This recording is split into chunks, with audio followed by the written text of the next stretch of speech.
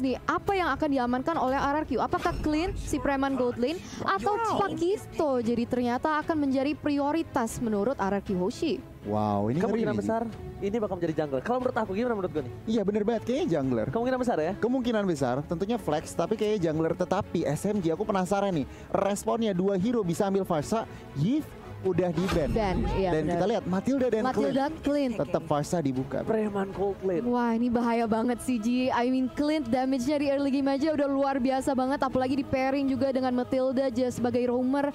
Mereka bisa inisiasi dengan lebih cepat di early game. Dan ini akan menjadi pertanya pertanyaan. Karena kalau emang uh, jungler positionnya akan menjadi Pakito. Mereka pasti mau nge-rush di early kan. Tapi Yes. kalau misalnya ditemuin sama Matilda. Gimana caranya mereka mau rotasi secara cepat itu? Oke, mereka butuh banget gold lane dengan Pasha untuk kali ini. Ah, kalau misalnya mereka nggak mau gold lane dengan Pasha, it's okay. Tapi Iya. mereka masih punya Brody. Yes, Mereka masih punya banget. Brody, sedangkan untuk Nathan itu sudah tershutdown di band dari tim RRQ itu sendiri. Dan Parsha, Esmeralda. Oke. Parsha, Esmeralda, dan kayaknya masih belum tentu di arah gold lane. Belum tentu, tapi kemungkinan. Lima, ini kalau ini benar-benar 50-50 ya. Iya, benar di banget. tangan Clay juga sangat-sangat berbahaya, tapi kemungkinan dari tim RRQ menaruh Parsha di arah lane itu masih cukup kecil kalau bisa kita Hmm, bilang. Dan hmm. dari SMG mereka masih membutuhkan satu buah jungler. Kalau mereka mengamankan jungler sekarang karena mereka sudah mengamankan gold lane, mereka sudah mengamankan dari satu buah roamer yang mereka masih perebutkan mungkin maybe arah jungler untuk kali ini sebelum Kayaknya. jungler di Yes. ban. Kayaknya sih, kayaknya sih jungler nih. Cuman bisa juga mereka langsung ngamainin jungler, bener banget. itu dia, Yi Sun Shin. Yusun Shin mereka butuh untuk asuransi late game, dia butuh immune. Uh, dia bisa untuk one by one situation dengan Esmeralda di arah late game. Hmm. Mereka juga bisa untuk uh, melawan seorang Pak Quinto. Jadi mungkin Yusin Shin adalah salah satu pilihan yang tepat. Cuma dari sisi seberang, dari tim RRQ, mereka masih bisa melakukan ban terhadap offlanernya. Yang di mana RRQ udah punya offlanernya gue nih. Nah itu dia, itu dia. Mereka bisa melimitasi, tetapi SMG ngelihat, oke, junglernya RRQ belum ditemukan. Kita paksa deh nih Pakito jadi jungler, ban ke arah Lancelot. Dan oke bener banget Ji dengan Yisun Shin tentunya Mountain Shocker juga bisa menjadi sangat-sangat apa ya berguna untuk informasi tentunya. Dan kita lihat di sini respon dari teman-teman RRQ. Satu hero bisa ngelimitasi mid lane-nya karena tentunya SMG mereka masih kehilangan mid lane mungkin Lilia juga bisa menjadi pilihan band untuk teman-teman dari RRQ. Oke, Eterna. Menurut uh, Eterna sendiri apa yang harus diamankan RRQ dua, dua band terakhir ini? Dua band terakhir oleh RRQ. Mungkin mereka lebih limit. Gue setuju limit bagian mid lane-nya ya. Lilia masih terbuka, Kagura juga kalau misalnya mereka mau. Tapi kita akan melihat. Menurut Oji sendiri gimana? Um, menurut aku harus Oh. Oke, Ruby. Em, Oke juga itu untuk em, melimitasi untuk pergerakan dari offline ya. Iya. Tapi aku juga setuju ke arah mid sih. Karena ini posisi Parsa dan juga Esmeralda ini sangat-sangat bisa tumbang nanti mungkin dengan adanya Lilia dan juga Kagura. Nah, Pergerakannya nggak bisa masuk dan Aldous untuk counter seorang clean itu di arah late game sudah diamankan Itu juga. bagus. wow. Bagus, bagus, bagus. Hero late game yang bisa langsung uh, nge-target ya seorang Clint. Apalagi dia pasti di backline dan pasti di, di sangat di defend sama temen-temennya. Tapi untuk last band dari Araki Hoshi, mereka udah ban Ruby. Aku kira mungkin ada uh, possibility mereka ngamanin Assassin. Tapi ternyata semua Assassin sudah di ban ya di sini ya. Hmm, yang lagi happening saat ini Karina. ya. Karina oke. Oke. Karina untuk Kita lihat sih kemarin sekali ya. Iya. Jadi ya masih masih terbuka sebenarnya cuman RRQ kayaknya mereka juga masih berdiskusi di sini offline mereka lagi sih. mereka juga masih bisa oke offline kah? Yuzong, Dan itu dia. Glue. Uh, Yuzong terbuka ya. Yuzong masih terbuka. Yuzong masih terbuka. Ada Parsha di arah sana. Apakah Yuzong bakal coba diamankan? Karena kita masih belum tahu dan bahkan jangan lupakan ini Esmeralda bisa ke arah Bangsin. Betul. Nah. Esmeralda bisa ke arah Bangsin. Bisa ada Chow untuk R7 kita nggak ada yang tahu. Bahkan Wow. Paku itu R7 dan di last pick-nya Albert dengan Roger. Who knows? masih flex banget soalnya ya iya. line up yang udah diamankan sama Araki Hoshi. Nah untuk SMD sendiri, oke mereka udah nge-secure Baxia yang emang punya pasif yang bisa nge-counter Esmeralda-nya ya. Jadi probably uh, lumayan lah picknya ya. Iya, NOD gratis tentunya. NOD gratis. Barang Pakito juga life steal-nya akan ke drain sedikit. Esmeralda juga nggak bisa sebebas bebas mungkin sebelum ada Oracle. Jadi kita lihat aja nih respon dari teman-teman RRQ dua hero Roger K tadi Oji sempat bilang mungkin ini ada sebuah fleksibel banget soalnya tiga hero yang diambil Betul, bisa Roger uh, di sini juga dengan tidak ada Matilda masih ada dengan Chow. Hmm. Bisa Chow, bisa Jauhead juga. Balik Wah, lagi ini ini, sih. gameplay akan seperti apa atau bahkan dengan healer es- Nah. uh, dengan adanya Iya, Angela, benar. Rafaela atau Estes Estes sekalipun. saja kebuka nih. wow Oke. klasik Finn klasik Jawhead, Finn memakai jahe Wow, comfort pick sudah diamankan oleh Finn dengan jawheadnya dan juga kita ada Brody juga yang kayaknya sih bakal jadi gold laner nih. Fix, Lihat-lihat Fix. ya. fix, fix, fix. Ini uh, junglernya ke arah Paku itu nih, Terna. Wow, wow, wow, wow. Cukup menarik, cukup menarik. Satu hero lagi nih, Ji. Mereka udah ada tank di Matilda dan juga Baxia. Tinggal Mereka ada nih. Gwen, tinggal mage-nya. Cari yang mungkin bisa independen Lilia. Lilia. Itu dia Lilia. Udah tahu di ban, Farsa sudah diambil. Salah satu mage yang bisa mandiri dan juga burst damage-nya cukup tinggi dengan high ground yang cukup bagus juga adalah Lilia kalau nggak Kagura. Tapi di sini mereka lebih prefer untuk mainin Lilia. Nah, aku setuju sama Eterna. Aku lebih prefer Kagura. Karena ada Wow. dua pilihan kan, Iya. Lilia Kagura. Kagura. Kenapa? Karena dengan adanya Kagura, dia bisa surprise attack. Dia bakal bisa Betul. surprise arah Parsha, surprise arah Brody yang jangkauan terlalu jauh. Nah, mungkin Lilia ini mereka untuk mengatasi seorang Pakuito, Esmeralda atau Jawed sekalipun yang udah masuk ke Nabrak, dalam gameplay SMG, mereka nggak bakal bisa keluar lagi. Tapi untuk draft kali ini, Goni, Jujur aja, aku lebih suka draftnya RRQ. RRQ, Eterna. Aku kayaknya lebih ke SMG jujur. Untuk draft ya? draft ya. Draft tapi ya? of course masih hashtag Indo Pride. Tapi untuk draft nih, karena ada ISS yang bisa membuka map, ada uh, pressure dari Matildanya gitu. Oke, so kalau aku pribadi di luar dari Indo Pride, memang draft RRQ kuat banget. Jadi Oke. kayak aku ke RRQ. So, kita bakal langsung saja saksikan ini dia. Grup Stage D, penentuan dari tim Indonesia. Berada di upper bracket tentunya dipandu oleh Ranger Emas, Eterna dan juga Goni. Let's go to the land of Dawn. Let's go to the land of dawn untuk melihat uh, representatif dari Malaysia dan representatif dari Indonesia. Mereka mencari kejuaraan siapa yang akan mendapatkan upper bracket di sini dan kita bisa melihat sudah ada rotasi dari teman-teman nih untuk membuka map. Masih belum ada yang agresif ya. Yes, benar banget dan buat kalian kawan-kawan semua jangan lupa untuk hashtag Indopride di kolom komentar dan ini ada fun fact dari Snake Video di mana MPL Indonesia 98 Fin adalah pengguna jawhead berbahaya dengan 10 kali pick dan win rate-nya 90% kawan-kawan. Wow. Dan Coba dipaksa depan sana ada VYN tapi ternyata ada R7 tertinggal seorang diri harus digunakan mau tidak mau cover damage yang diperlukan tidak cukup untuk mengcover kali ini Eterna. Iya, belum cukup untuk ngecover nih. Sekarang mereka akan berotasi ke area mid side dan kayaknya lihat-lihat sih ah, masih agak susah ya. Walaupun Clay sendiri dia masih bisa clear lane dengan cukup cepat. Wow. Jadi Goni. tadi kalau kalian perhatiin ya, Yes. Esmeralda dan juga Johetnya makanin jungle dari seorang Yisun Shin yang berarti apa? Yisun Shin bisa telat level 4 dibanding Pakito. Oke, agak sedikit tertinggal ya. Tapi bahkan dengan informasi dari Goni kali ini lihat Feyan langsung ngamanin dia nggak mau juga keambil untuk dari segi jungle-nya. Mountain Shaker telah dibuka, informasi telah diberikan dari Bang Sin dari bottom lane dengan setengah darah.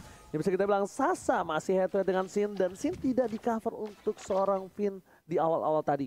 Melihat adanya permainan dari tim RRQ yang agresif, kayaknya tim SMG juga tidak mau tinggal diam untuk kali ini ya Terna. Wow, Zaim Sempoi sangat tapi lihat di sini ada pergerakan yang sangat agresif oleh Finn. Apakah dia bisa mengamankan seorang Expedia? Namun ternyata masih bisa kabur, masih bisa survive. One last hit. Almost is never enough. Tapi lihat CCTV by Samsung Galaxy A52s 5G. Belum ada orang yang bergetar atau Wow. bergerak. di Bergerak. Bergetar.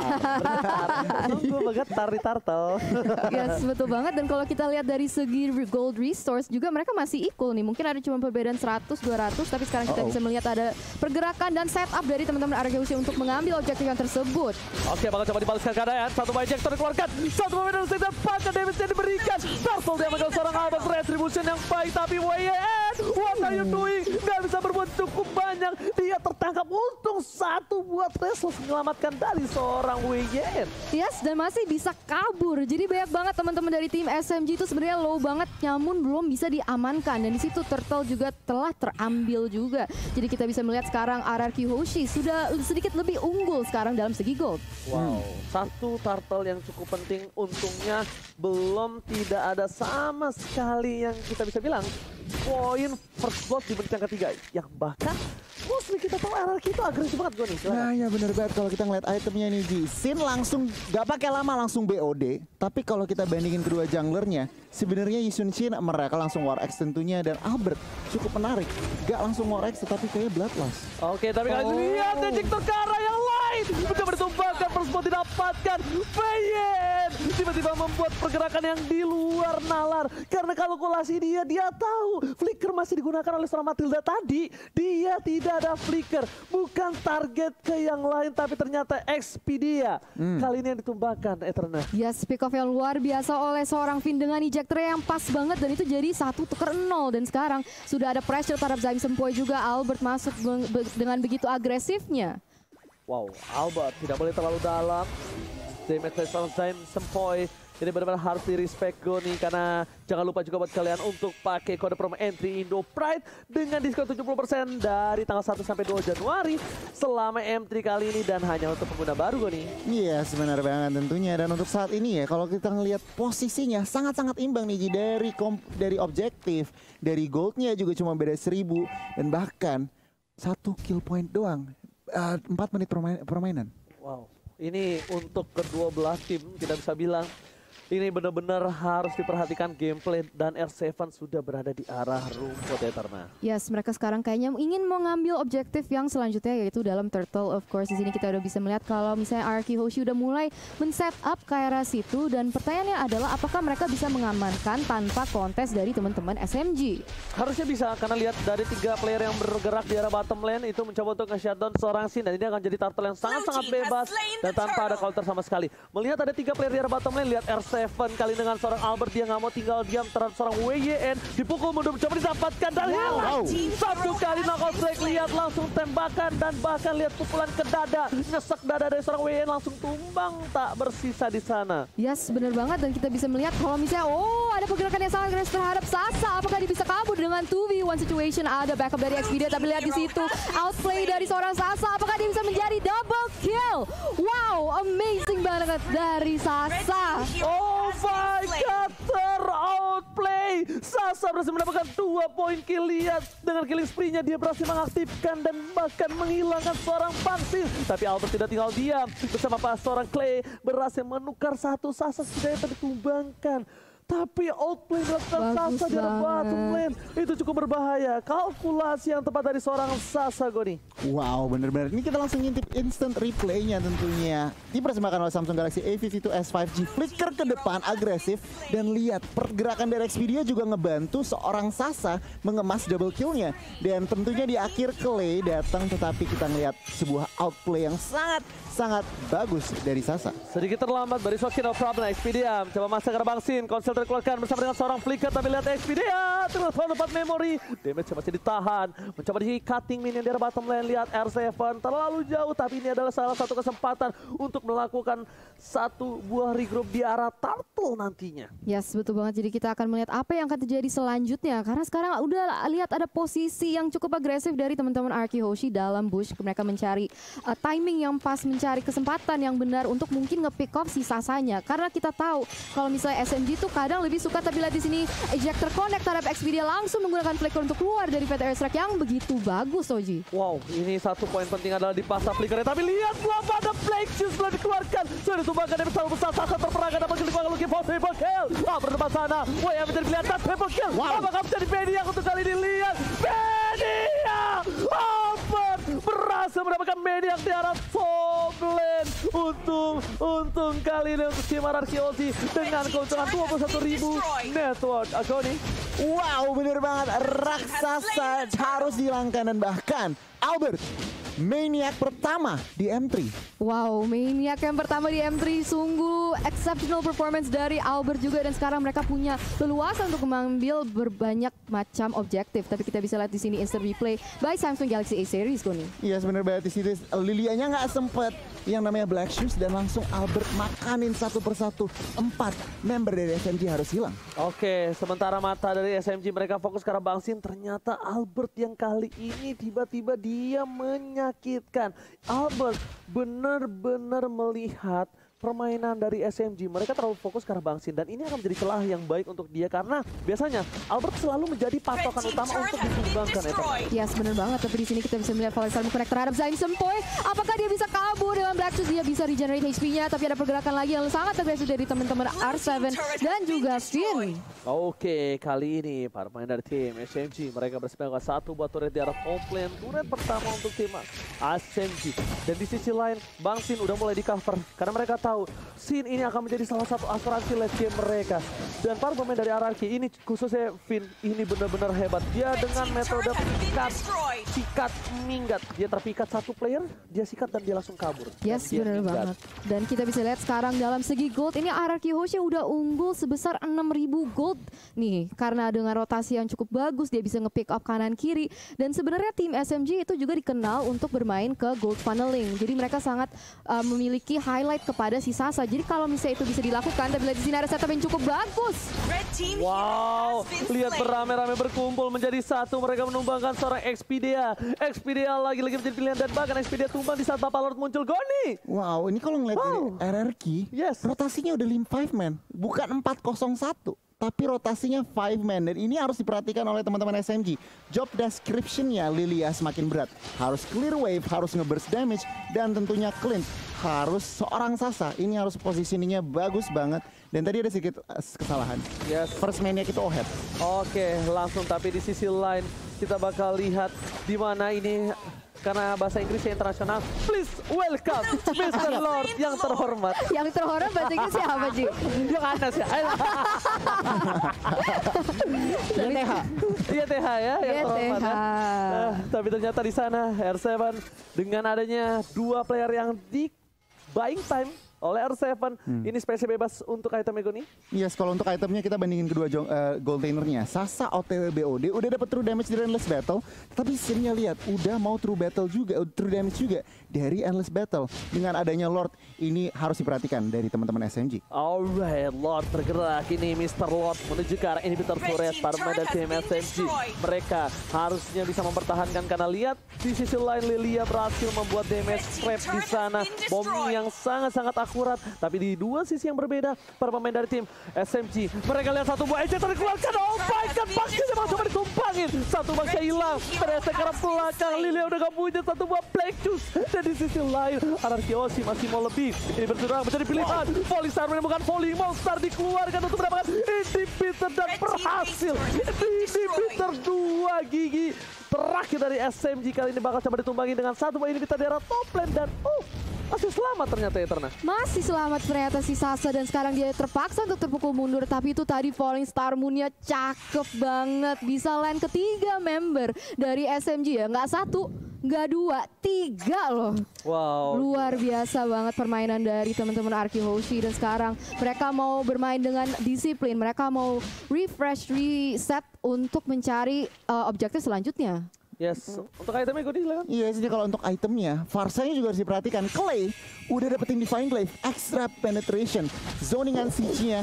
Ini bener-bener tim SMG susah banget yang namanya melakukan pergerakan.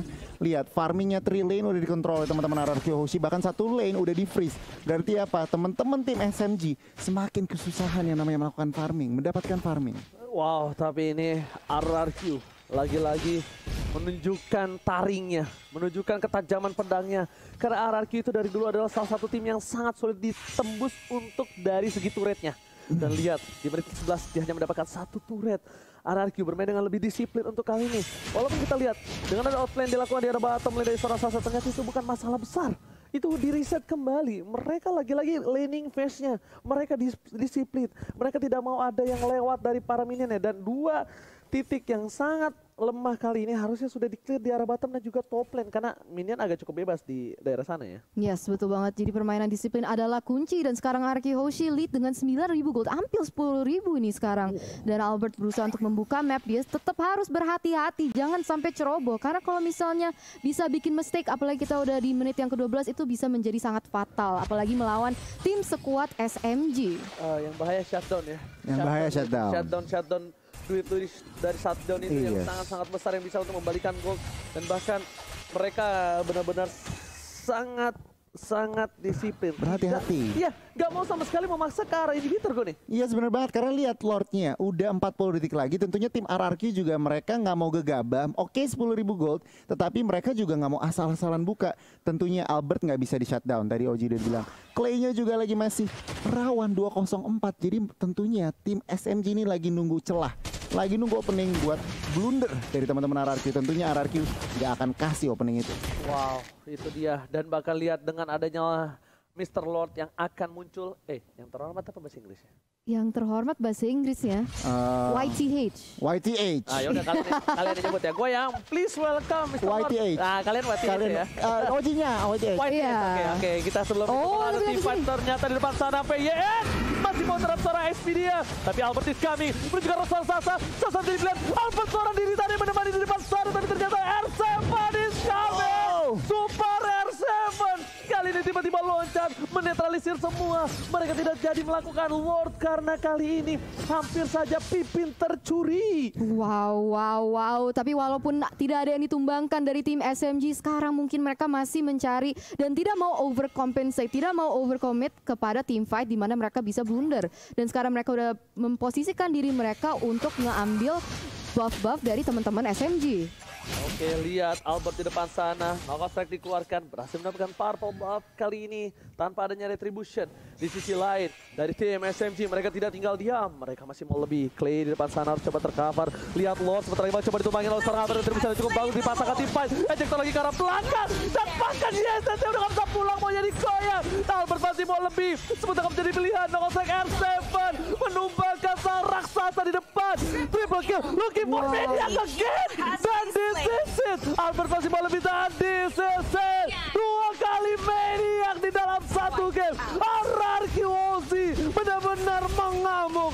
Sang raja dari segala raja berhasil mendapatkan game yang pertama. Dua maniac dan salah satu poin yang sudah diamankan di match nomor satu ini benar-benar RRQ Hoshi menunjukkan taringnya. Jadi kalian yang di luar sana juga para viewers, para supporter jangan lupa spam hashtag RRQ Hoshi and of course hashtag Indopride. Wow, ini bener-bener apa ya kalau ngeliat dari pertandingan tadi RRQ Hoshi textbook gameplay.